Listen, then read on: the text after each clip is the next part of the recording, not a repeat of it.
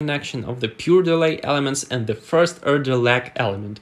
In this case, the resulting transfer function of the heating system WCO can be expressed as follows. Let us, let us solve the differential, differential equation 13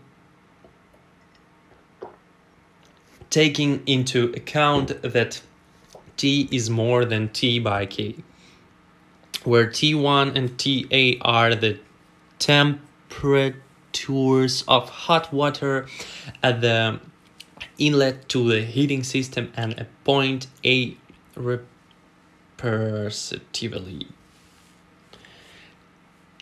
T3T are the time of the complete delay in the transfer process and the time constant respectively as R is and heat loaded. Results and decision. Taking into account uh, from 10 to 16 the characteristics of the function w1p and w2p are graphically illustrated at the figure 3 and the figure 4 representatively. Mm, it should be noted that according to 7 the parameter t sets the time for the medium for to reach the temperature t degrees in a silk circular pipe in a sections with an outlet diameter d2 and the distance from the origin of coordinates uh, figure 2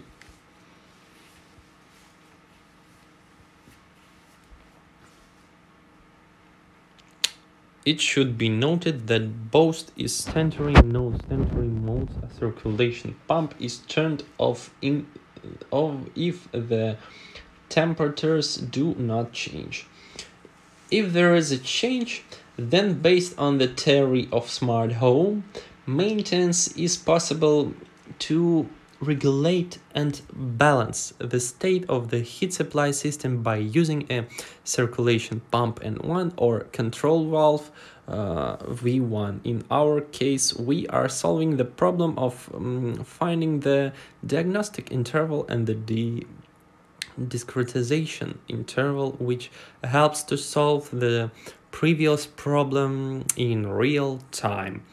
If we take into account that the temperature of hot water to 8 at point 1 at the figure 1 show, should always be higher than the temperature 2 in the return pipeline by some valve, uh, then the following inequality is true. Taking into account expression 20, we have this. From 23, it follows that. Inequality 23 sets to uh, the so-called time interval for restarting the heat flow control algorithm with a dependent connection scheme which allows to scan the heat supply state of a facility with a certain aberration discretization period. Such a period can be called a discretization interval and denoted as T by G. The T by G value can be determined based on 23 according to the formula. Here is the figure 5 graph of the function T by G. Below is a schematic solution of determining T by G for linking the control in the smart home operating mode figure 6. It should be noted that the choice of the control parameter at 1 depends on the range of variation of the values of T and T by D and T1. Taking into account this node and relation, it is possible to obtain a marking on the abscissa axis with the marking according to the iterative formula where n is 1, 2, and etc. In this case, the nth uh, interval can be expressed as follows. Figure 6.